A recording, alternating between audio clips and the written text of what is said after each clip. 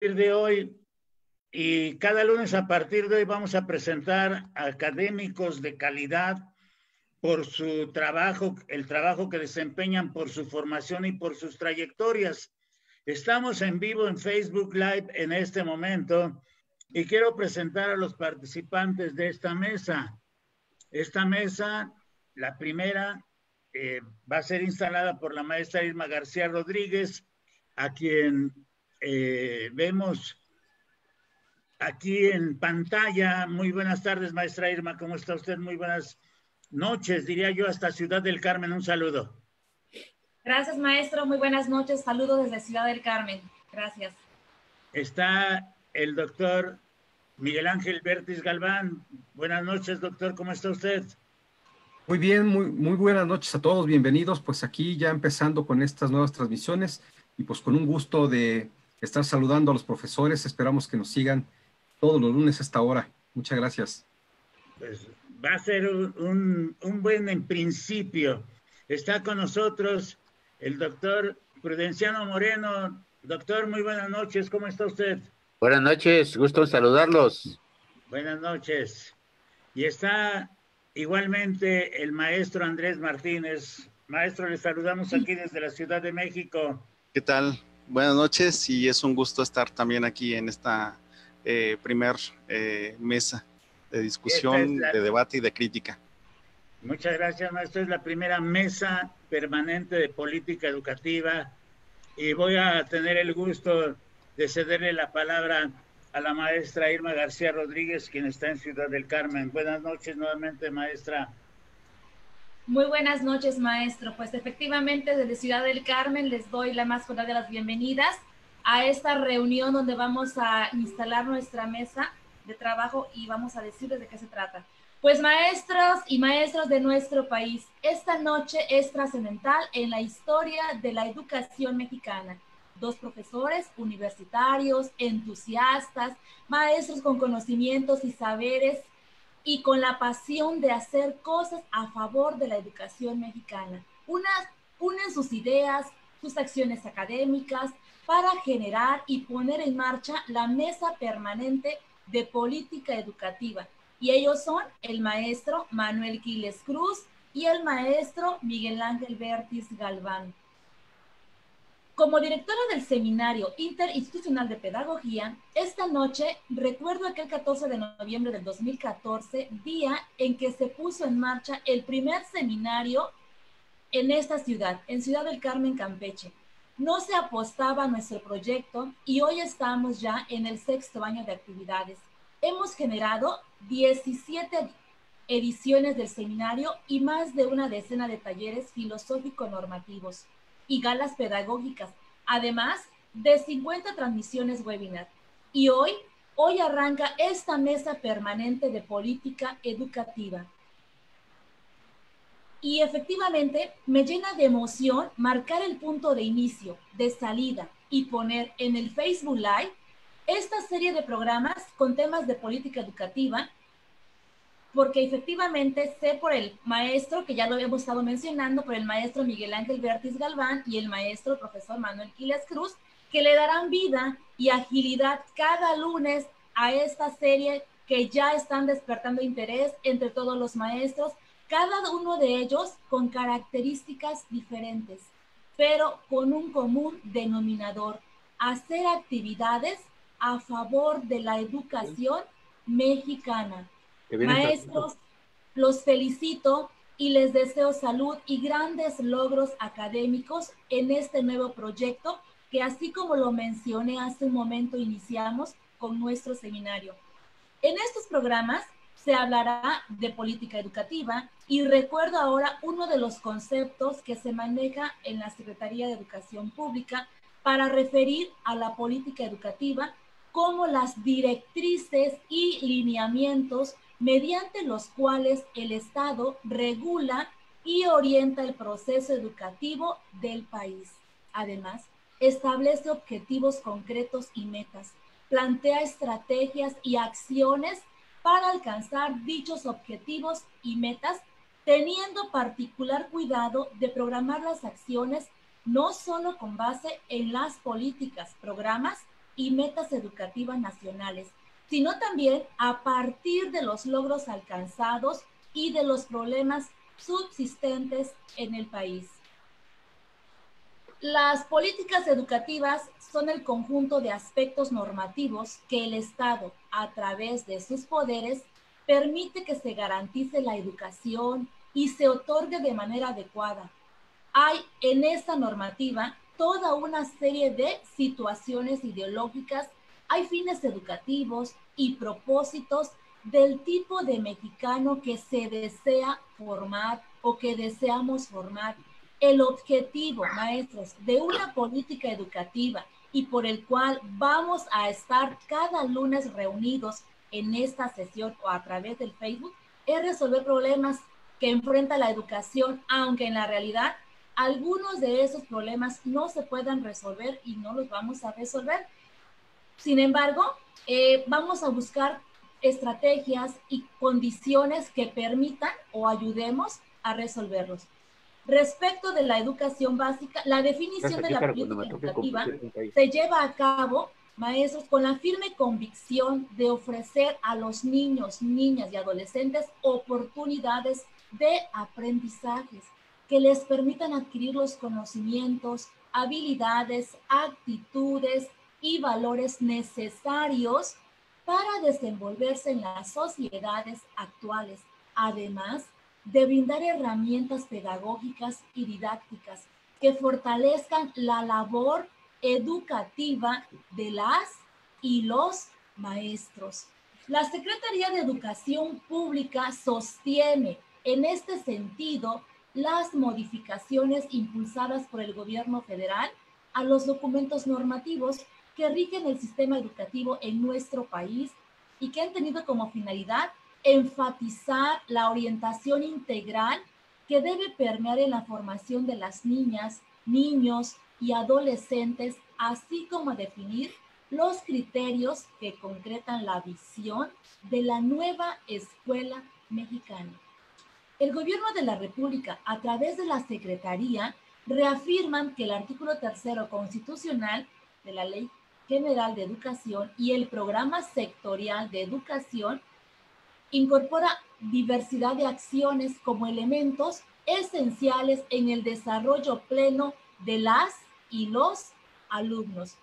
Además, se reconoce la necesidad de llevar a cabo una revaloración del magisterio e incorporar su participación en los procesos de reforma educativa, promover una formación y actualización continua y congruente con las necesidades de las y los docentes, así como la revisión, actualización y articulación de los diseños curriculares, tanto de educación básica como de las escuelas normales, para atender la diversidad de contextos educativos, las acciones y mecanismos que se deriven de ello en el corto, mediano y largo plazo, deberán ser dadas a conocer por la SEP a partir de sus medios oficiales, con la intención de impulsar la participación de todas y todos los interesados en colaborar en la mejora educativa. Y efectivamente, ya, lo, ya se mencionó hace un momento, todos los interesados en colaborar en la mejora educativa, maestros, y, y, segura estoy que se escucharán en las noches, como cada lunes, los próximos lunes, y a partir de hoy les auguro lo mejor. Y sin más, demos la cordial bienvenida a los participantes de esta primera mesa permanente de política educativa. Les agradezco el honor de permitirme dar por inaugurada esta mesa y espero pues nuevamente eh, ver a los maestros interesados y, y, por qué no hacerles una invitación posteriormente aquí a Ciudad del Carmen, Campeche. Y hoy, 10 de agosto, pues inauguramos esta mesa de trabajo con temas muy interesantes que se van a llevar a lo largo de, pues ahora sí va a depender de los maestros interesados en mejorar su práctica docente. Maestro Manuel Quiles Cruz, maestro Miguel Ángel Bertis Galván, los pioneros de este tema muy interesante, les doy la más cordial de las bienvenidas y ahora sí, iniciamos. Maestro Manuel Quiles Cruz, le cedo la palabra. Gracias.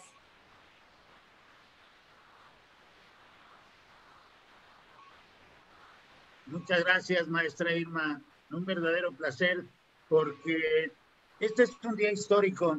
Hay días que se tienen que escribir en la historia de la educación mexicana y colocar una mesa permanente política educativa ahora en esta etapa, ya casi en 140 días de resguardo personal cada uno de nosotros por esta pandemia, colocar este tipo de ejercicios eso es muy importante y es muy importante porque lo estamos pensando para maestros, maestros que están en las aulas, desde académicos en las escuelas formadoras de maestros o en las escuelas que forman profesionales de la educación o en las instituciones de educación media y superior y en básica. Nosotros pretendemos llegar a los maestros y tomamos esta línea porque hablándose de la nueva escuela mexicana, hay que reconstruir una serie de condiciones que como profesores necesitamos tener claros. Yo soy de la idea de que todo aquel que se precie de ser maestro debe de conocer la política educativa, en este caso, de nuestro país, porque el sistema educativo nacional es un sistema educativo muy grande y además, siendo grande, tenemos 126 millones de habitantes y prácticamente el 30% de esos habitantes estaría en el sistema educativo. Entonces somos un buen número de millones y los maestros que tal vez andaremos en oficialmente en dos millones de maestros, también tenemos mucha influencia en el trabajo diario y cotidiano. Y hoy más, porque desde la propia campaña de quien ahora es presidente, Andrés Manuel López Obrador, yo recuerdo tres reuniones importantes donde empezó a plantear el tono de esta política educativa hacia lo que iba a ser la Escuela para el Bienestar, que después cambió a Nueva Escuela Mexicana. Uno, la reunión de Misantla de 2017. Otra, la reunión de Zacatecas del 11 de febrero de 2018, precisamente, no era precandidato todavía, era precandidato. Y la de Oaxaca, la de Guelatao, donde hace los compromisos para la educación y desde ahí se empieza a mover esta parte de la política educativa.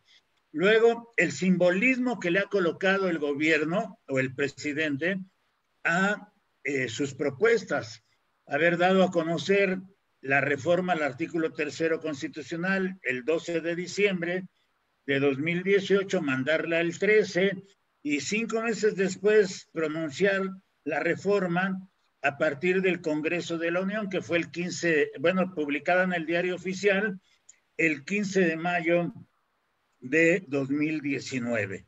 Y ya desde ahí, la organización, por ejemplo, de la Comisión de la Mejora Continua, que se dio en julio de 2019, que ya cumplió un año, eh, el pronunciamiento y dar a conocer el Programa Nacional de Desarrollo, que trae todo el fraseo de la campaña, y después el programa del sector educativo. Pero hoy tenemos a dos especialistas, grandes maestros, ellos que nos acompañan y está con nosotros también el doctor Miguel Ángel Bertis Galván, a quien saludamos. Sí, pues buenas noches. Pues muchas gracias, maestro Quiles. Pues aquí atento a las preguntas y comentarios que nos hagan nuestros eh, panelistas, muy destacados ellos, colegas que conozco desde hace tiempo y seguramente nos van a, traer una reflexión muy interesante ya la estaremos comentando. Pues muchas gracias. Muy bien, muy bien, doctor Miguel Ángel. Pues vamos a presentar a nuestro primer panelista, el doctor Prudenciano Moreno Moreno. Él es profesor de educación primaria, lo cual me da muchísimo gusto porque eh, conoce la escuela desde el origen eh, así es que eh, su formación como licenciado en sociología, maestro en ciencias políticas y sociales por la Universidad Nacional Autónoma de México también, y doctor en economía de la educación por la Universidad Nacional Autónoma de México. Es profesor titular de tiempo completo de la Universidad Pedagógica Nacional en la Unidad Ajusco.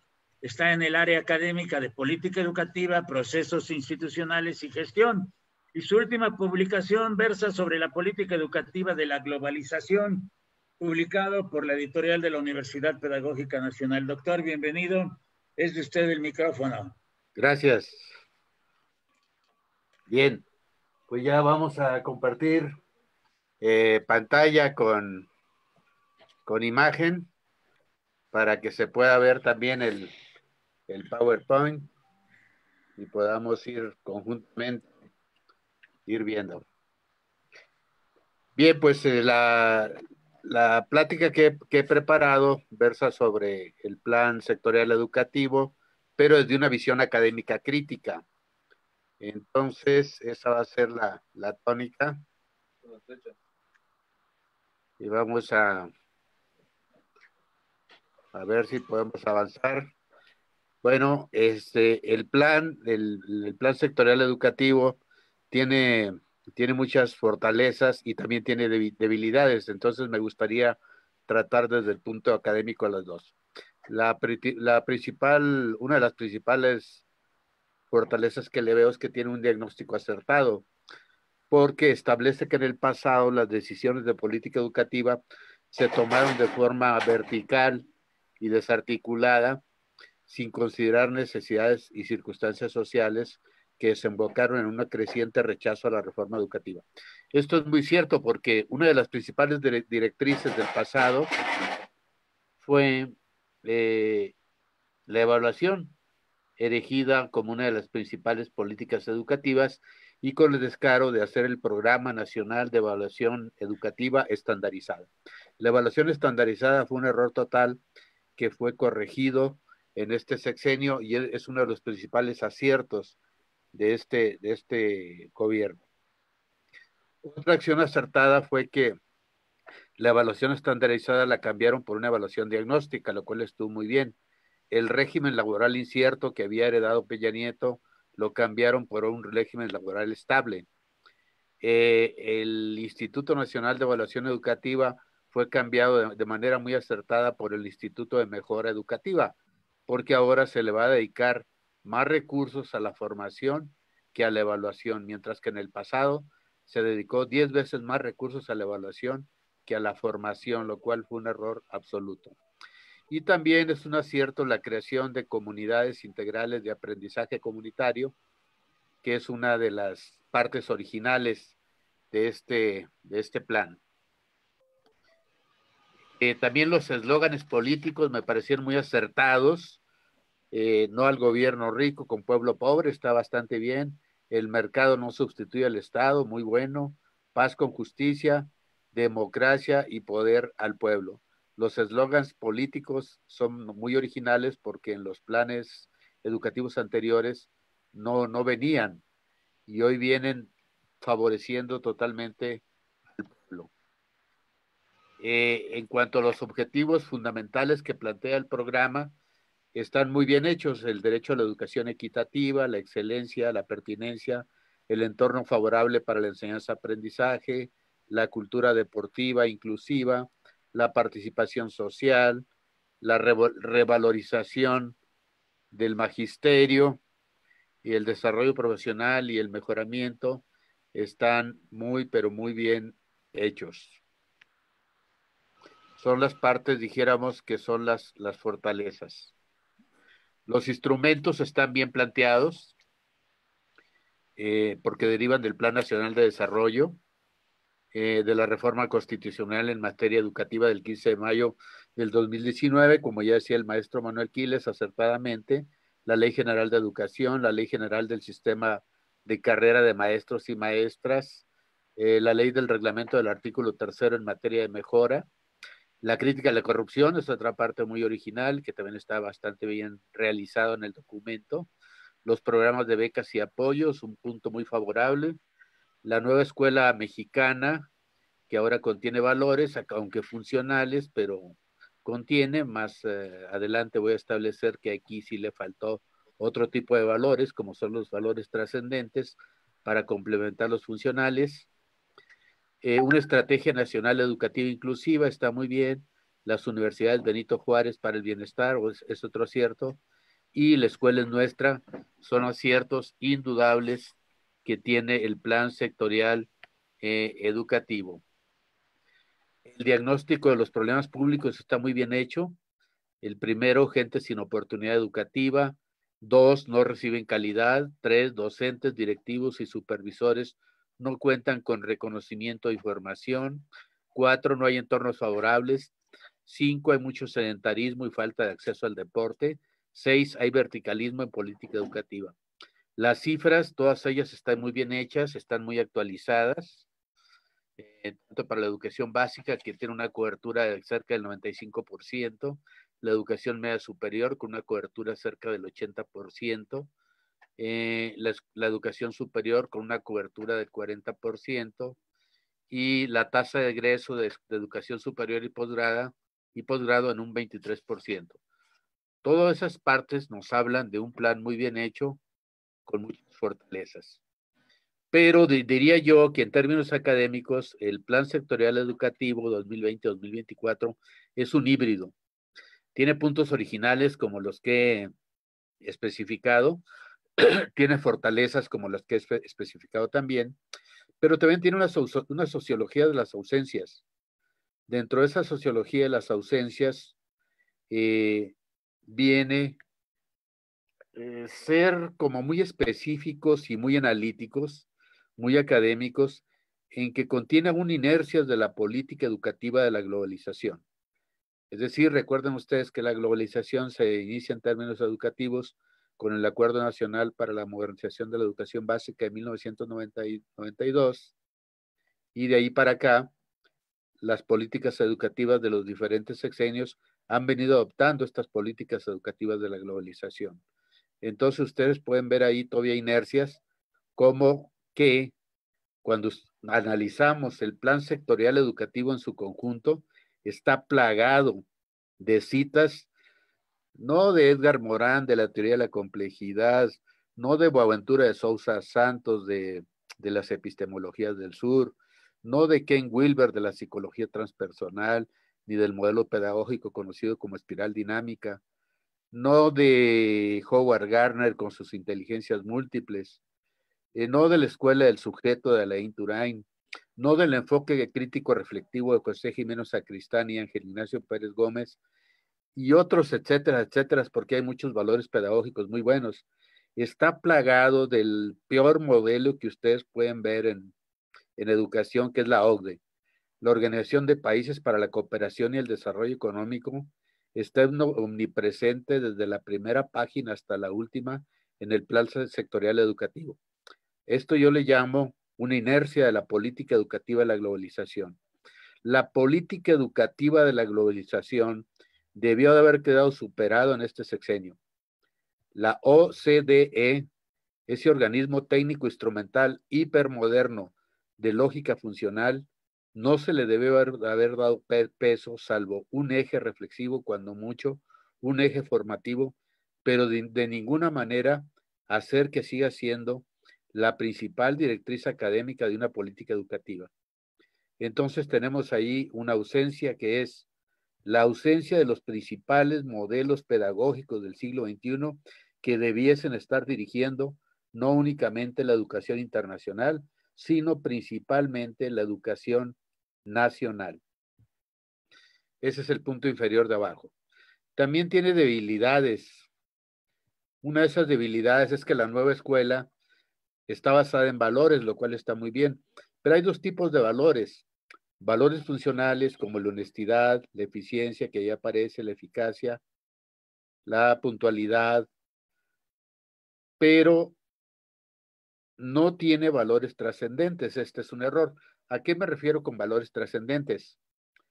Los clásicos griegos de la educación, Sócrates, Platón y Aristóteles, dieron el principal prestigio, la principal importancia a la búsqueda de la verdad como uno de los, como el valor fundamental para todo sistema educativo.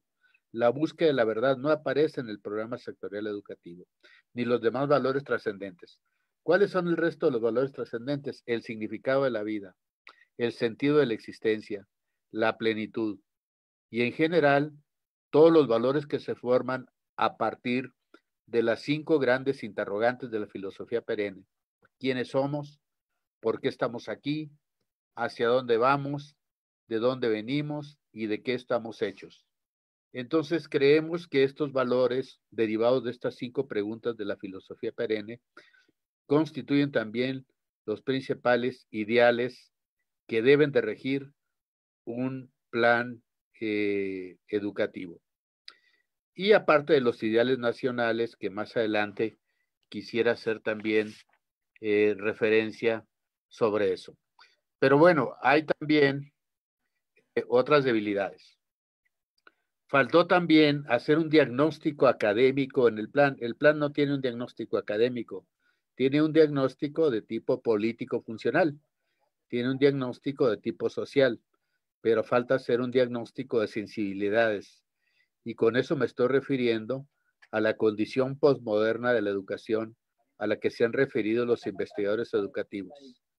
Esa condición postmoderna de la educación viene siendo la situación de escepticismo, la situación de abulia, de apatía y de indiferencia en que se desenvuelve el trabajo académico de las generaciones actuales, a diferencia de las generaciones del pasado que se desenvolvían en ambientes de mucho entusiasmo.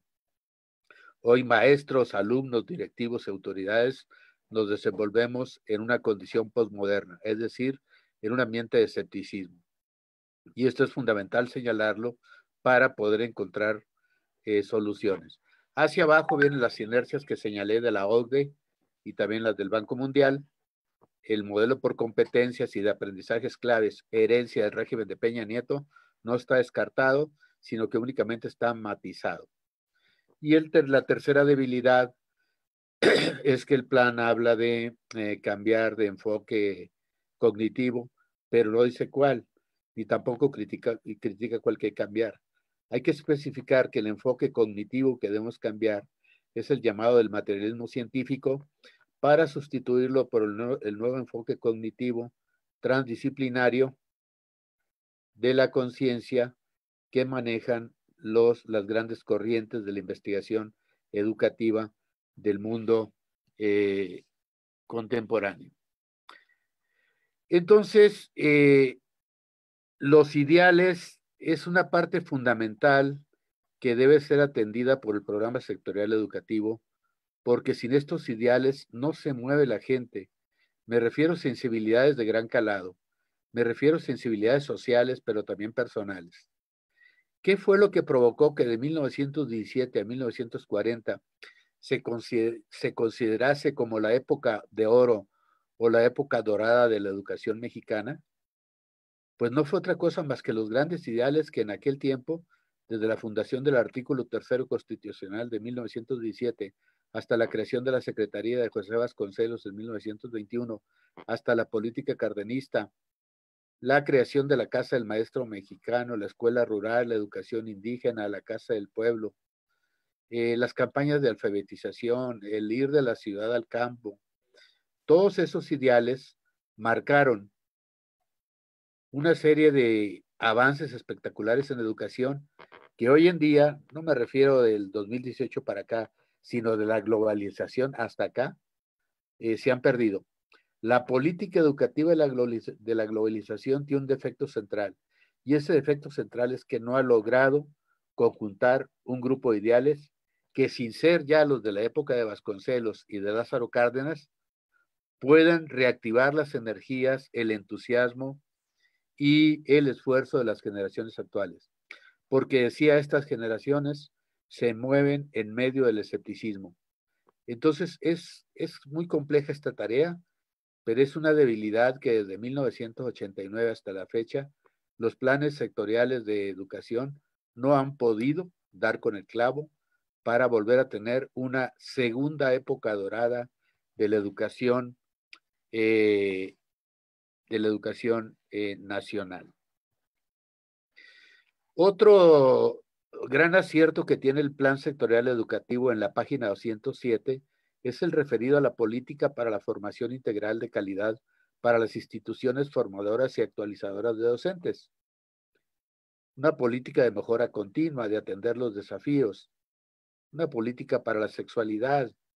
Eh, una política para la vinculación, para la ecología, para los valores, para desarrollo socioemocional y estilos saludables, para la salud y me parece acertadísimo que hablen del cambio de paradigma para percibir y aprender del mundo, pero me parece un desacierto que no especifiquen que el paradigma que hay que cambiar es el paradigma del materialismo científico, que ya dio todo lo que tenía que dar, que ha entrado en crisis y que debe ser sustituido por el nuevo paradigma cognitivo interdisciplinario de evolución de la conciencia.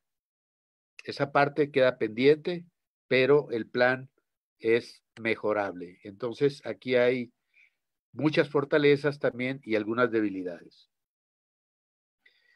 La otra gran eh, debilidad que yo le veo al, programa es que no pudo desprenderse de la OCDE y siguió, insistió en definir calidad educativa con los mismos términos del plan de Peña Nieto y de Felipe Calderón que están tomados de la OCDE. Es decir, la calidad como el máximo logro de aprendizajes y el desarrollo del pensamiento eh, ligados a la calidad, pertenencia y relevancia.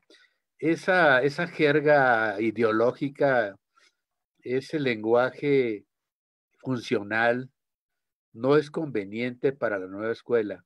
Si la calidad no puede definirse funcionalmente como el, máximo logro de los aprendizajes, sino debe de definirse la calidad como las actividades tendientes a la ampliación y profundización de la conciencia personal y social.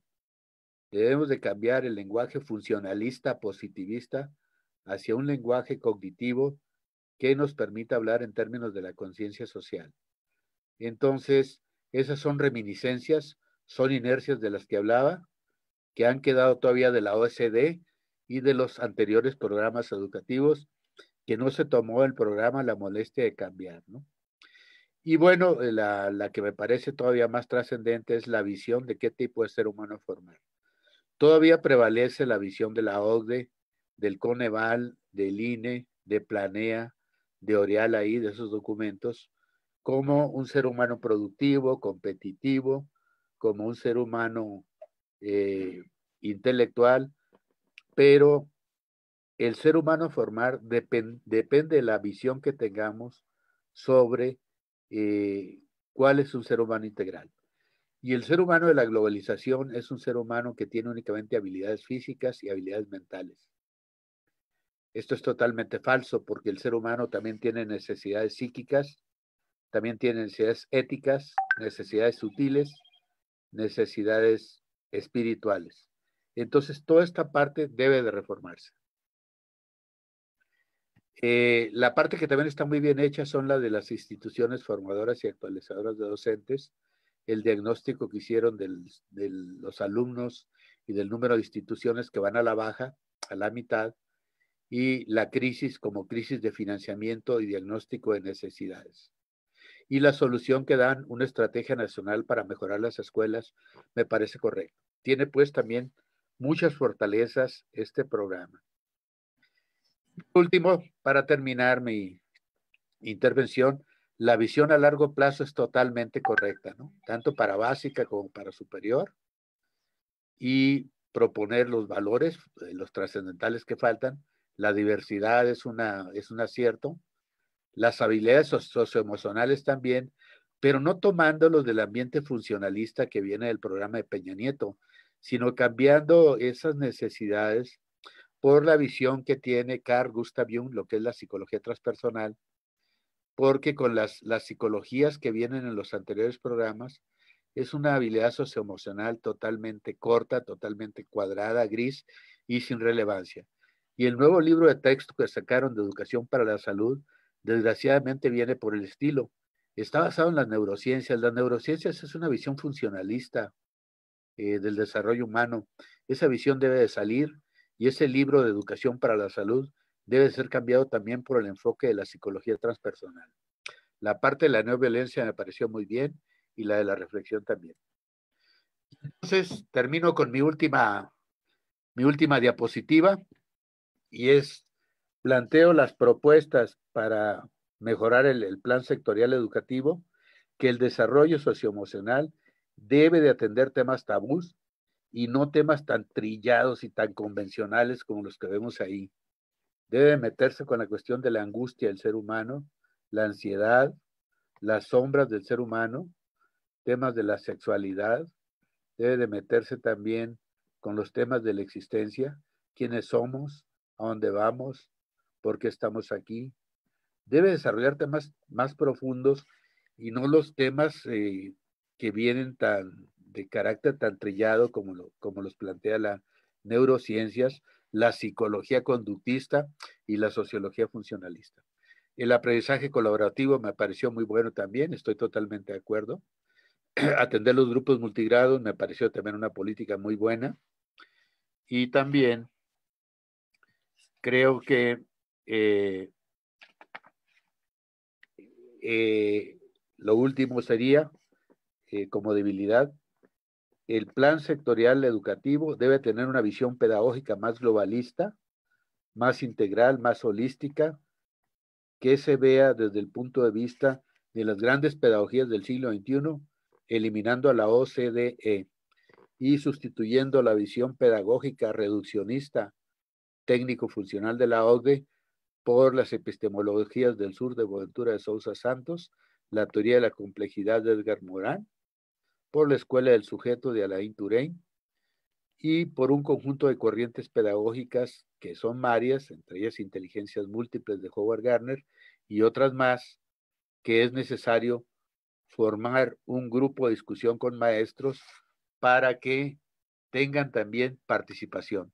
Porque otra de las grandes ausencias es que el maestro aparece como ausente, aparece ahí una, especie de de ausentismo del maestro, una especie de autismo del maestro, y también esto daría por resultado pues una alexitimia pedagógica. Si no se involucra al maestro, si no se involucran ideales, si no se saca la OCDE del plan, si no se introducen grandes visiones pedagógicas, esto va, va, a dar por resultado en las prácticas docentes y educativas una alexitimia pedagógica. ¿Qué significa esto?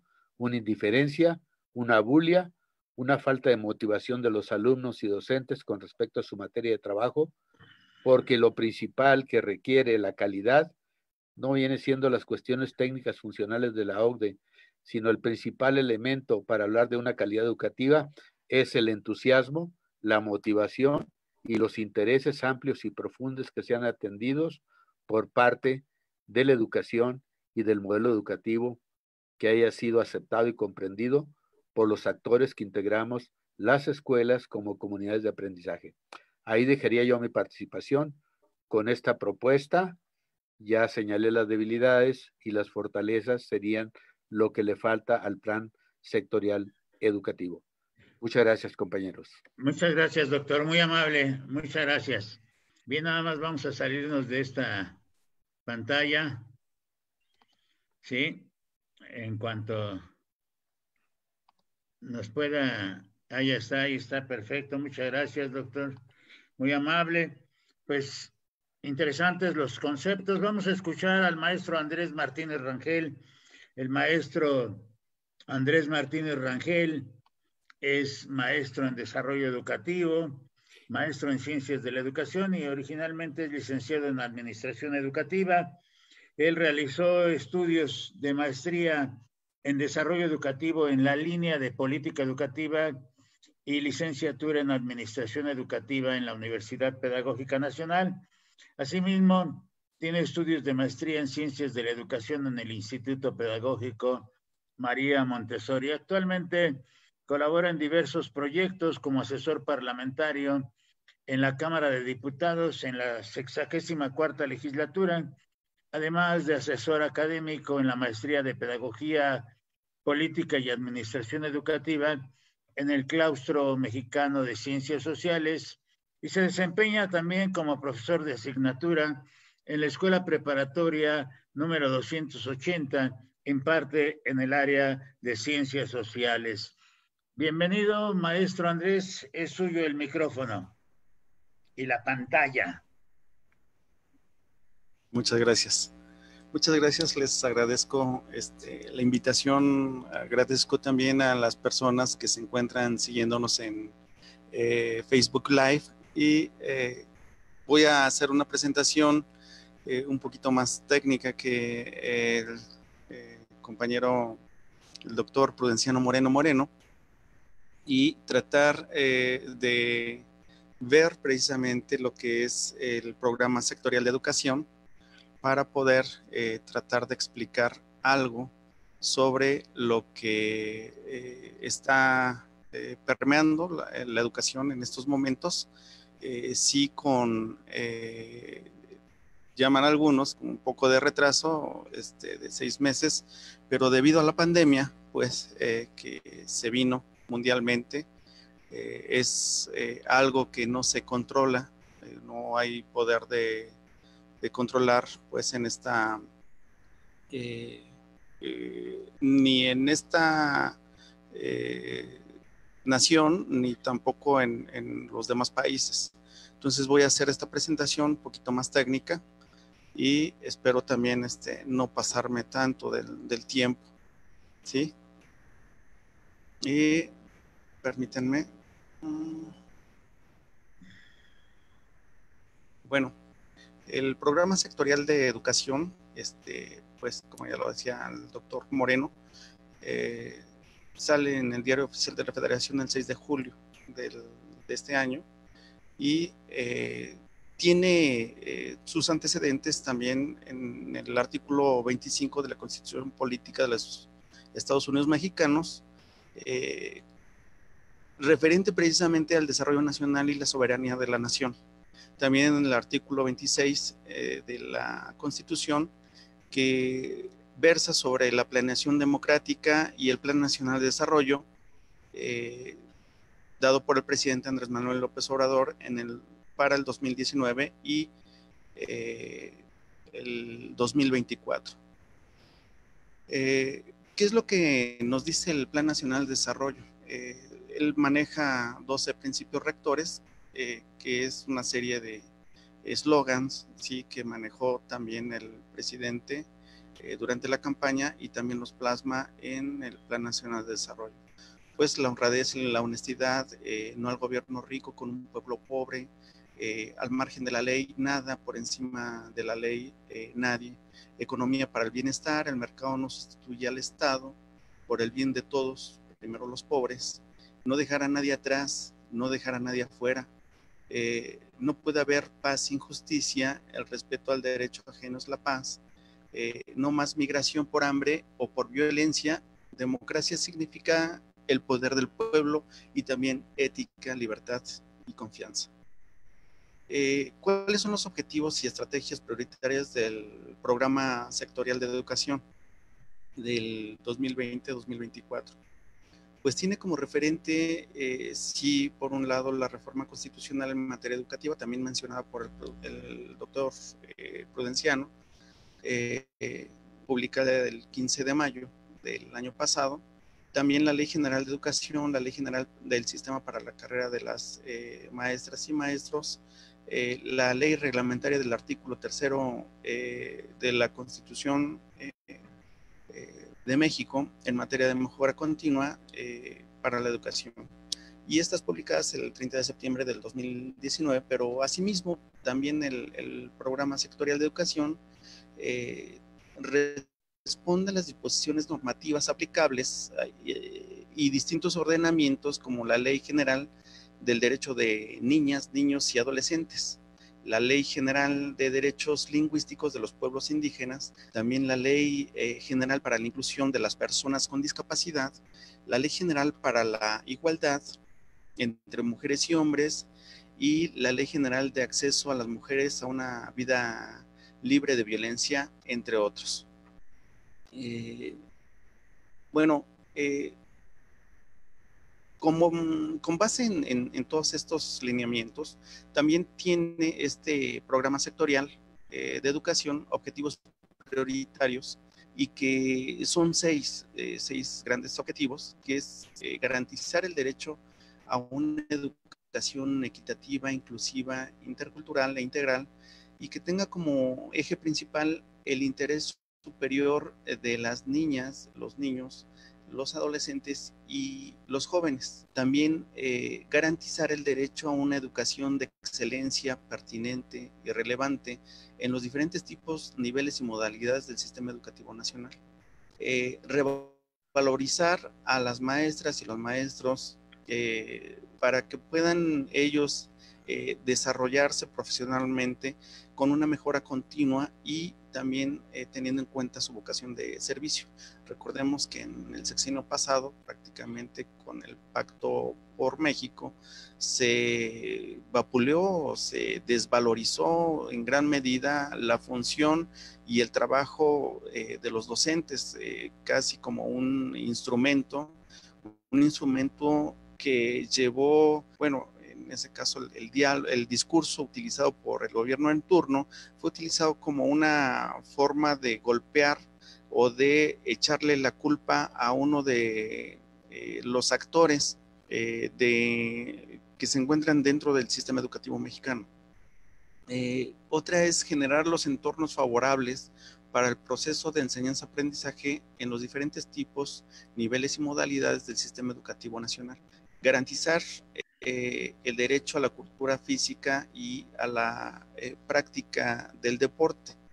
Eh, y también fortalecer la rectoría del Estado y la participación de todos los sectores y grupos de la sociedad para concretar la transformación del sistema educativo nacional centrada en el aprendizaje de las niñas, niños, adolescentes, jóvenes y adultos. Bueno, aquí este, en la pantalla ustedes verán que es 3, 4 y 5, debería ser 4, 5 y 6, porque son seis eh, objetivos prioritarios.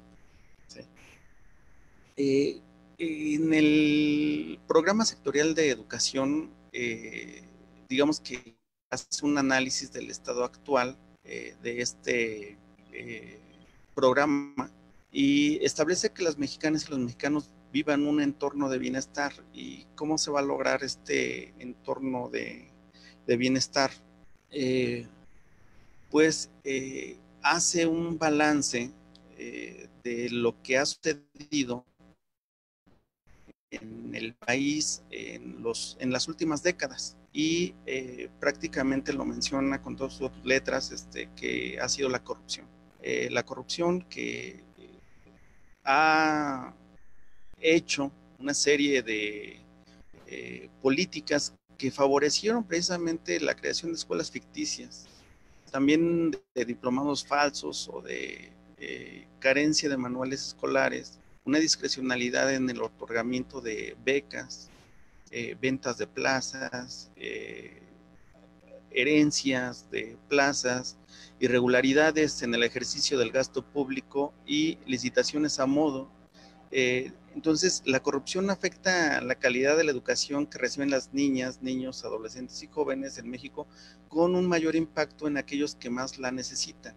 ¿Quiénes son aquellos que más la necesitan? Pues, lógicamente, ah, hablando en, este momento, teniendo casi la mitad de la población en, pobreza eh, y también un gran número de millones eh, de población eh, de mexicanos en la pobreza extrema, pues vemos que es a los que más les pega este tipo de acciones eh, de corrupción en torno a los servidores públicos. Entonces, eh, yo recuerdo pues que había, hay nombre y apellido, por ahí hay muchos autores que mencionan precisamente, entre ellos Gil Antón, sobre que la, en quién recae precisamente toda esta o, toda esta falta de, política resarcitoria, eh, son los eh, pobres, los eh, indígenas y las mujeres. Y todavía si nos vamos un poquito más allá, pues los discapacitados. ¿sí? Entonces, ser discapacitado, ser indígena, ser pobre, pues prácticamente marca el desarrollo que va a tener en la escuela, digamos, la brecha eh, educativa que va a permear este grupo, estos grupos sociales, eh, pobres indígenas y, discapacitados, va a ser más ancha precisamente en el sistema educativo mexicano. De ahí que eh, el gobierno de México eh, se ha comprometido, eh, digámoslo así, para tratar de resarcir este, este tipo de políticas que no ha incidido en estos grupos, a entregar de manera directa, sin intermediarios, recursos destinados a los más necesitados mediante programas como Jóvenes Escribiendo el Futuro, becas Elisa Cuña y la escuela de Es Nuestra, las becas de educación eh, básica para el bienestar, Benito Juárez, y la beca universal para estudiantes de educación media superior, Benito Juárez. Entonces, eh, digamos que con esta nueva escuela mexicana, eh, trata de sentar las bases para la regeneración moral de nuestro país a partir de una orientación integral basada en los valores como la honestidad, la honradez, la ética, la libertad y confianza, que son los principios rectores del Plan Nacional de Desarrollo 2019-2024. ¿Sí? Entonces, la finalidad del, programa eh, sectorial de, educación 2020-2024 es contribuir a un nuevo modelo de desarrollo basado en el bienestar de las personas, en donde la Rectoría del Estado, del Estado en la educación y el consenso social eh, se den de primera mano. Una educación para todos y todas, sin dejar a nadie atrás, una educación de excelencia para aprendizajes significativos.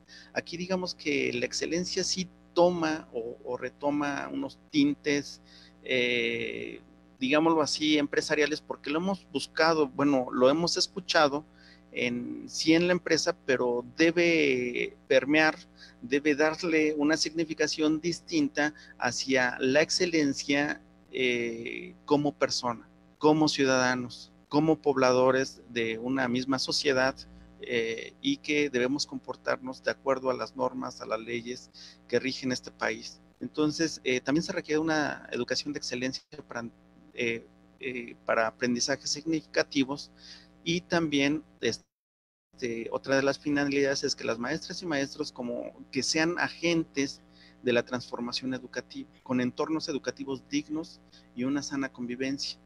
Un deporte eh, bueno, aquí también trata de incentivar la, parte eh, deportiva eh, para que se pueda mejorar la salud de los mexicanos. no dejar de lado precisamente esta rectoría de la educación y el consenso social. ¿Cuál es la visión a largo plazo de esta, eh, digamos, de este programa sectorial de, educación? Pues eh, que para el 2024 la cuarta transformación eh, pueda sentar las, las bases de un proyecto de nación caracterizado por un mayor bienestar de la población donde la educación inclusiva, equitativa y de calidad se posicione como un pilar fundamental del desarrollo sostenible. El sistema educativo nacional debe ofrecer mayores oportunidades de acceso, permanencia y conclusión, ya que en los distintos niveles y tipos eh, escolarizados eh, se va eh, haciendo como un embudo educativo. Entonces, trata de que la ampliación de la cobertura de todos los tipos y niveles y modalidades educativas tengan esa eh, menor porosidad para poder eh, que los jóvenes, niños, eh, adolescentes y niñas puedan permanecer en el sistema educativo mexicano. Entonces, se trata de que la cobertura pueda alcanzar para el 2024 el, el 90% en la educación media superior y en la educación superior pueda ascender a un 50% cuando en la actualidad se tiene un 38.7% eh, como viene especificado en este programa eh, sectorial de educación. Eh, también que los, los servicios educativos puedan responder a las necesidades e intereses de las y los estudiantes y que se pueden impulsar la actividad física y la práctica del deporte en las escuelas para generar un hábito saludable y prevenir enfermedades. Las oportunidades educativas para todos los sectores de la población deben ser amplias, diversas y promover la excelencia, así como el desarrollo integral. Eh, hay una parte muy importante en donde trata de que la docencia eh, deba ser una profesión altamente valorada eh, por cada estudiante y que quien se deba o pueda o quiera dedicarse a ella, debe ser una persona que debe estar calificada, motivada y capacitada para que sea ella una piedra angular en la transmisión de conocimientos eh, y la excelencia educativa. Bueno, pero más que transmisión de conocimientos, también pueda ser, pueda permear a los jóvenes con la creación de, conocimientos, no solamente la transmisión, sino que pueda brindarles a los demás jóvenes la oportunidad de poder crear el conocimiento. Y eso sería este, todo eh, de mi parte, es una parte muy, muy técnica. Este, y eh, hasta ahí la, la dejaríamos. Muchas gracias, maestro Andrés, muy amable de su parte. Pues hay, hay cuestiones que se tienen que tratar muy técnicamente porque es la manera de explicarlas en el sentido de que estamos hablando de documentos normativos. Ya las otras partes tienen que ver con el análisis, con la proyección que se tiene que llevar, inclusive con el proceso histórico que se viene construyendo en este modelo eh, de la nueva escuela mexicana, porque tiene ya una historia, inclusive la conformación y desarrollo de los foros para buscar el acuerdo nacional educativo. Pero de políticas públicas, este, vamos a tratar de saltar esta, esta presentación. Si se pudiera salir allá, maestro, este, vamos, ahí está ya. Ahí estamos ya. Y vamos a, a pedirle a nuestro anfitrión, porque también es el anfitrión, el maestro, el doctor Miguel Ángel Vértiz Galván. Sus puntos de vista sobre estos, estas dos eh, presentaciones, la del doctor Prudenciano Moreno y la del maestro Andrés Martínez. Bien, pues muchas gracias. Pues antes que nada agradecerles y felicitarlos por su uh, reflexión que siempre es bienvenida, siempre nos ayuda a, tener mejores ideas, a construir mejor eh, los argumentos que después nos van a ser útiles para el análisis de cómo mejorar el sistema educativo, de cómo pensar el sistema educativo y las siguientes reformas. Pues la primera inquietud que a mí me deja lo que ustedes dicen y bueno, y, lo, que, y lo que ha estado pasando, este, es si es responsable que ese plan sectorial de educación permanezca como está. En virtud de los recientes episodios, vamos a ver en, los siguientes meses una dura crisis económica, pero también una dura crisis emocional en las personas, también una dura crisis en cuanto al acceso y a, la posibilidad, la capacidad del Estado de garantizar el derecho a recibir educación para todas las personas en, el territorio nacional. Entonces, mi pregunta también está en el sentido de qué habría que modificar qué objetivos habría que cambiar y qué ejes, qué metas y qué indicadores habría que agregar para que este plan de desarrollo actualice los efectos de la pandemia, introduzca contenidos fundamentales ahora, no solamente la educación para la salud, que es algo que ya habíamos introducido desde hace tiempo, qué bueno que ahora se introduce con, con contenidos aún más amplios, pero creo que no se está abordando lo realmente importante para lo que viene, que es, por ejemplo, una pedagogía de la resiliencia por todos los daños que va a dejar la pandemia este, en, los temas que acabo de mencionar y otros que seguramente empezaremos a ver eh, rápidamente. Una siguiente inquietud que a mí me parece importante en, el análisis de este plan sectorial eh, de educación este, tiene que ver en, pues mucho de lo que dice la, la, la reforma o estos, estos objetivos a mí desde, desde que lo estuve revisando hace unos meses, antes de que supiéramos todo lo que iba a pasar y todas las revisiones ahora que se ven necesarias en este eh, programa sectorial, es, ¿acaso no todo esto supone que la siguiente gran reforma que ya deberíamos estar viendo desde que se escribió la Constitución hasta ahorita, la siguiente gran, perdón, la reforma del 19 de la Constitución hasta ahorita, la siguiente gran reforma no debería ser la reforma al sistema de formación de docentes, en el mismo sentido de la, Constitución que ahora manda al gobierno, obliga al gobierno a fortalecer a las escuelas normales y a, las instituciones formadoras de docentes. Porque todo esto que, está dicho en este plan sectorial de educación a mí no se me antoja eh, viable si no reparamos en una revisión profunda a la formación de docentes, no solamente al currículum, al sistema completo de formación de docentes. Eh, no, eh, no quiero hacer mi propia ponencia, por eso este, nada más lo dejo como un planteamiento que habríamos que profundizar y para no llevarme más allá de los cinco minutos este, hemos, que hemos estado, que hemos destinado para esta intervención. Y bueno, finalmente cerrar pues un poco con, con la reflexión en términos de que este, este plan sectorial de educación, eh, yo, a mí se me antoja que no ha, no ha dejado ver algunas eh, de las bondades, hablando aquí mis colegas, y particularmente una en la que sí quisiera eh, saber su opinión, tanto la de Andrés, que me parece muy importante porque ha estado ahí en la parte de la legislación, como la de Prudenciano Moreno, es realmente la, este, esta redimensionamiento del valor del docente se ha sentido en las reformas educativas, es decir, en la desaparición del INE y la formación de mejor edu ahora, eh, realmente ha generado sensiblemente una modificación a lo que el profesor de a pie, el que está en las aulas, en los pizarrones, eh, frente a los grupos, ese profesor que está siendo evaluado como sea con otros instrumentos, pero finalmente evaluado, realmente ha experimentado una revalorización de su función a partir de eso. A mí me quedan muchas dudas de eso, porque me parece, y bueno, lo mismo preguntaría para el multigrado, pero ya no me da mucho tiempo de, profundizar, pero me parece que los cambios, que las expectativas de cambio, mucho por, por la pandemia, pero ¿qué deberíamos ver?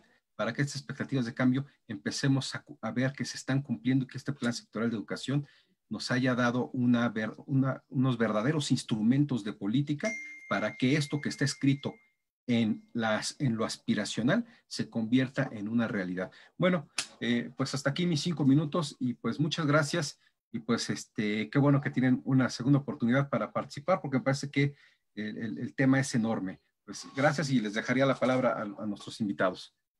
Maestro Quiles. Muchas gracias, doctor Miguel Ángel Bertis Galván. El tema es muy amplio, efectivamente, porque inclusive podemos tomar aspectos muy particulares e irlos comentando. Cuestiones curriculares, por ejemplo, que no se han señalado. Esperábamos ya el, el plan y eh, los programas ahora en agosto de 2020 no se dan a conocer. Y el documento se fue construyendo ya también dentro de la pandemia y habría que observar que eh, la escuela ya no es la misma antes que antes del 23 de marzo, del 20 de marzo, y que ahora va a ser diferente y que tendrá que darse recorridos nuevos en materia educativa, como bien lo dice también el doctor Miguel Ángel Bertis Galván. Vamos a cederle la palabra al doctor Prudenciano Moreno para que en cinco minutos pueda elaborar una idea que nos lleve a concluir esta primera mesa permanente de política educativa. Muchas gracias, maestro Manuel Quiles. Pues para mí sería un, concepto el que define todo lo que hace falta en el, plan. Ese concepto es profundidad. El plan es muy superficial, eh, son elementos declarativos que contienen, de hecho, todos los planes educativos. Eh, nada más que este plan es más democrático, más avanzado, más original. Pero son elementos muy reiterativos, democracia, justicia, libertad, bienestar para todos, educación física, sexualidad, ecología, etcétera, ¿no? Desarrollo socioemocional. Pero cuando analizamos ya las propuestas concretas de política educativa, vamos a observar una gran superficialidad. El nuevo libro que surgió a raíz de la pandemia de educación para la salud es un libro demasiado superficial, o sea, no toca los temas fundamentales de salud. Tiene una visión de estilo OMS, Organización Mundial de la Salud, de lo que es la salud, ¿no? Únicamente como una cuestión física y mental cuando la salud abarca también cuestiones éticas, estéticas, sutiles, psíquicas, emociones destructivas, emociones positivas, espiritualidad, etcétera. No lo toca, viene nada más el enfoque de la neurociencia. Entonces, académicamente, el plan es sumamente superficial, es sumamente trillado lo que ahí viene, no se sostiene. Algunos dicen, bueno, pero es que los planes de decisión son instrumentos nada más. La instrumentalidad es un defecto de la política educativa. La política educativa, desde el punto de vista de los académicos, debe de llevar también una visión académica. Desde el punto de vista de los administradores, de los politólogos y de los gestores, con que lleve instrumentos es suficiente. Para nosotros es un error. Debe de llevar una visión académica profunda y amplia y debe de llevar también una visión pedagógica. No es posible que un plan sectorial educativo carezca de una visión pedagógica. Es como si un plan nacional de salud careciera de una visión de lo que es la salud y de las corrientes más avanzadas de la salud. Entonces yo, yo termino así. Al, al, al plan le hace falta profundidad, le hace falta una visión pedagógica, le hace falta ideales que no serían ya los de Vasconcelos, porque estamos en otra época, pero sí ideales fuertes que permitan motivar para una acción docente de largo alcance y que permitan otra, otra vez tener el entusiasmo que en la época dorada tuvieron los maestros para trabajar en este país. Esa es la, la, propuesta que yo hago, dijéramos, las carencias que tiene el plan, es que no es un plan académico, es simplemente un plan procedimental, es un plan instrumental, es un plan técnico, pero le hace falta una visión pedagógica, le hace falta pedagogía, le hace falta desarrollo socioemocional, lo señala, pero es un desarrollo socioemocional totalmente superficial también. Nosotros estamos hablando de un desarrollo socioemocional profundo, diferente. Ahí lo dejaría.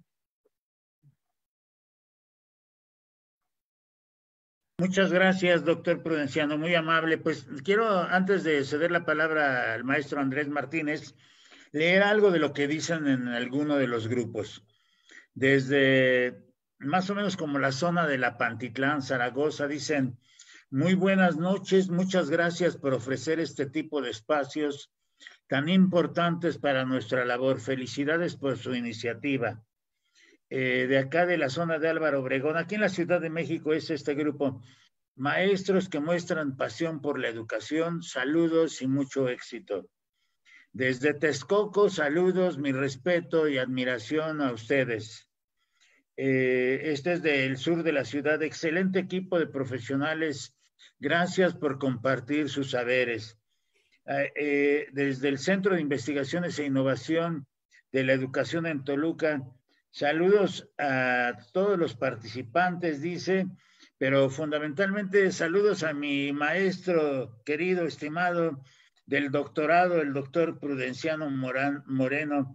Es el doctor Fernando Flores Velázquez, doctor Prudenciano, quien le ha, Gracias le hace ese saludo. También él está invitado a participar en estas mesas. Eh, desde Texcoco también excelentes planteamientos. Eh, acá en Santa María la Ribera, excelentes especialistas. En el norte de la ciudad, gracias, buenas noches, gracias por compartir. Eh, de Atizapán, maestra de la UPN de Atizapán, la maestra Patricia Delgado, muy interesante el análisis del doctor Prudenciano Moreno. Eh, de acá de Tlatelolco, saludos a todos ustedes. De la colonia Progar, también saludos. este es un grupo de aquí de la ciudad. Eh, también me saludan, por supuesto. Y este, excelentes reflexiones, muy buenos puntos de análisis, dice aquí una compañera del doctor Prudenciano. Y eh, nuevamente de allá de por Zaragoza, gran observación. El plan nacional está incompleto, hace falta esa visión pedagógica. Otro maestro dice, felicidades a todos por este espacio necesario para el debate fundado. Eh, eh, hablan del doctor Miguel Ángel Vértiz Galván, invita a la reflexión y además tiene argumentación precisa y, leemos estos este, mensajes porque estos mensajes nos dan la idea de cómo puede ir este tipo de programas. Eh, nos están viendo un promedio, de acuerdo a lo que yo estoy observando en el, en el teléfono celular, de entre 100, 105, baja un poquito de 100. Es la primera mesa y yo creo que es, una mesa eh, promisoria porque tenemos la esperanza de que así como contamos con ustedes, el padrino de la, de la mesa es el doctor Prudenciano y el, y el maestro Andrés Martínez. Así es que los vamos a tener después en otra mesa. ¿Qué le parece, doctor Miguel Ángel Bertis Galván?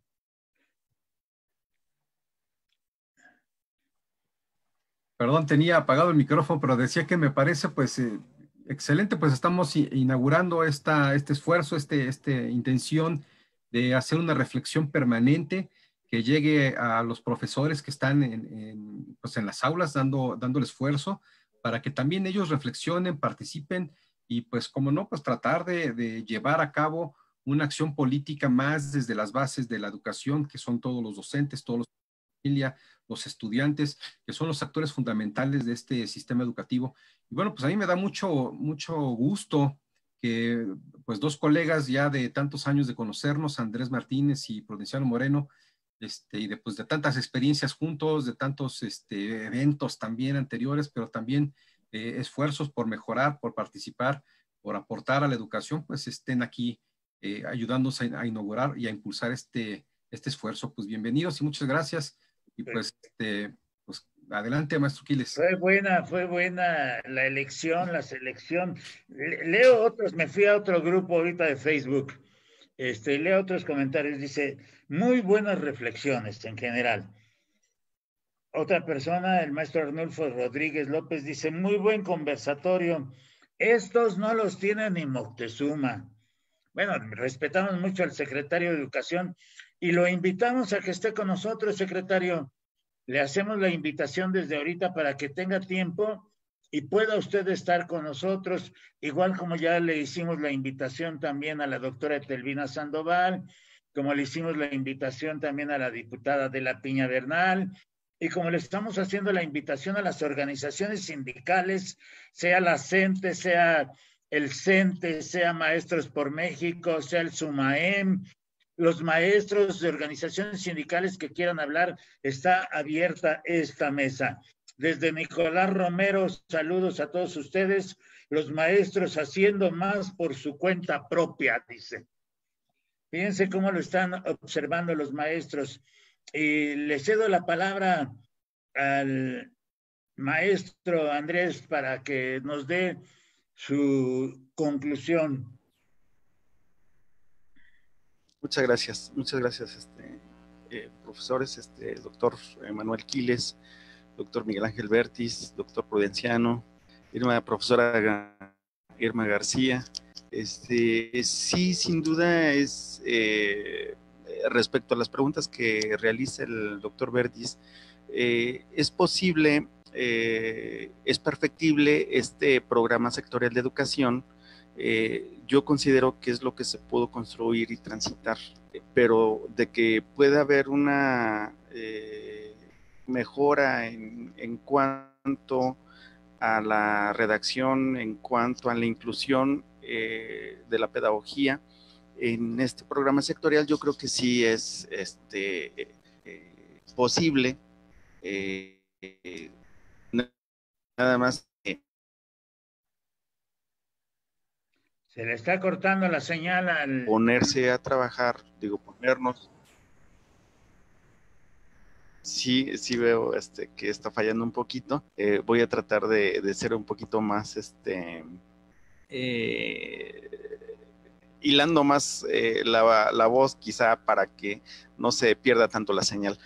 Este, entonces, sí es perfectible esta, este programa sectorial de, de educación eh, aunque eh, pues hay que ver eh, también que dentro, abordando la otra pregunta del doctor Bertis, en, esta, en esta serie de reformas educativas que se vienen desde el artículo tercero, 31 y 73 del año pasado, junto con las leyes secundarias, y también en este programa sectorial de educación, se ha tomado en cuenta precisamente a los actores y ahora se, transforman como autores eh, de esta reforma educativa.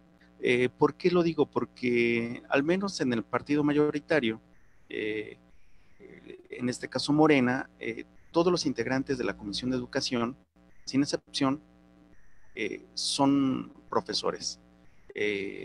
bueno, profesores en, algunos jubilados, algunos con licencia, y eso le da otra visión eh, distinto a cómo se venían haciendo las cosas en el pasado. Los eh, políticos que habían tomado las riendas eh, de la educación en nuestro país pues solamente veían esta visión mercantilista, tecnocrática, en donde de alguna u otra forma fueron menospreciando la actividad de los docentes y también tratando de desviar los recursos eh, destinados a la educación para hacer este proselitismo y eso también eh, desmejoró eh, todo el sistema educativo mexicano, ¿sí?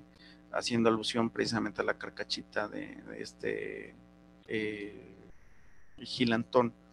Pero vamos, que sí se puede y se han tomado en cuenta eh, la voz de los profesores, de los grupos eh, políticos, la CENTE, eh, el CENTE y algunos otros que han tenido la oportunidad de verter sus opiniones para la construcción de esta reforma educativa.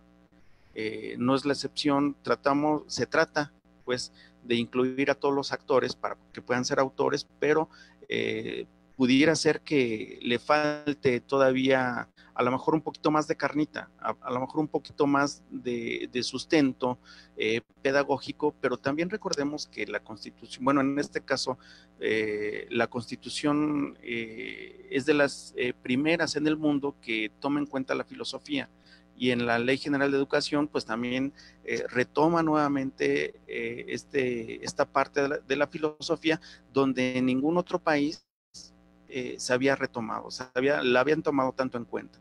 Entonces yo creo que eh, son avances, eh, sí le falta mucho, creo que estamos iniciando después de haber sido tan manoseada tecnocráticamente, digamos, las reformas educativas anteriores y debíamos partir de algo.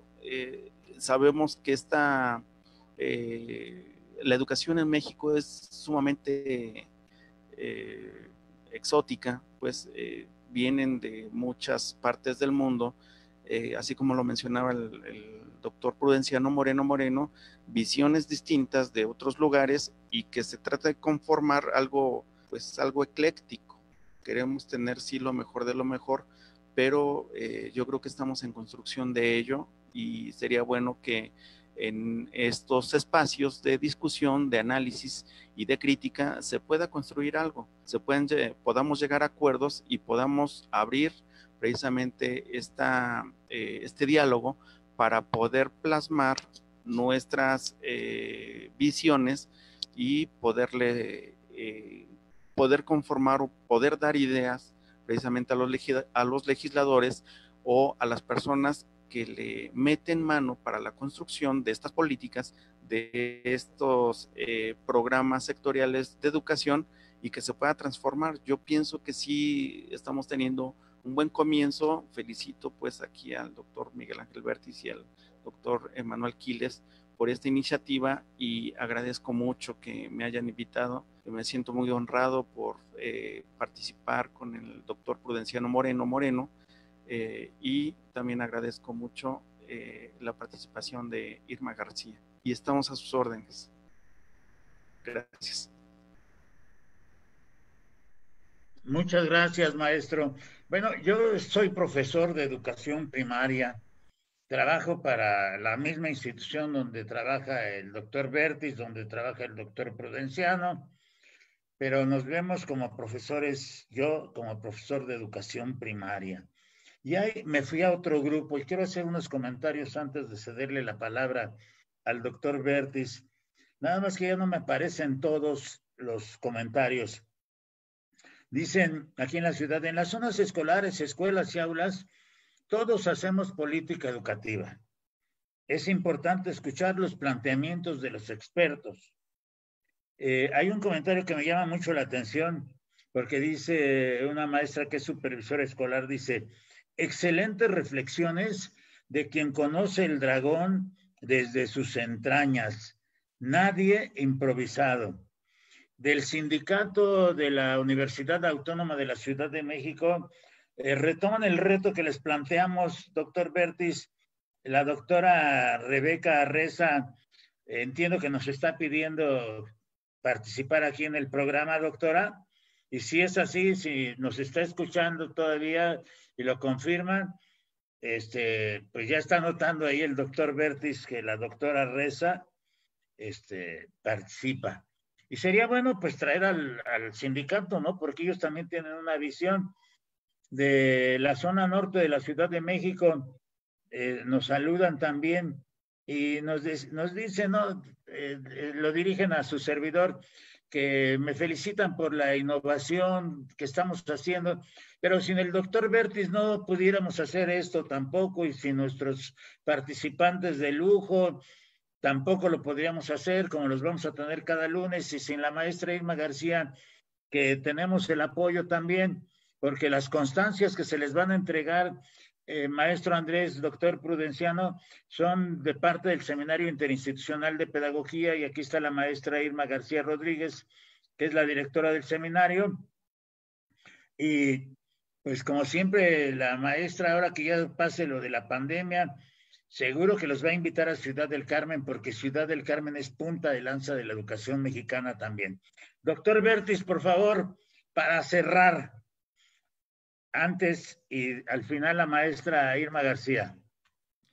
Bien, pues eh, yo creo que no tenemos más que agradecer nuevamente las valiosas aportaciones de Andrés y de Prudenciano Moreno, pues son este, importantes, ¿no? Nos ayudan a, repensar. Eh, siempre se nos quedan sobre, el tintero muchas cuestiones. Eh, aquí yo nada más como reflexión, pues me parece que ahí hay una dialéctica, desde un punto de vista hay una discusión entre lo técnico eh, Chalo nos dice que, es un, que el plan sectorial es eh, un plan muy técnico que le hace falta mucha pedagogía.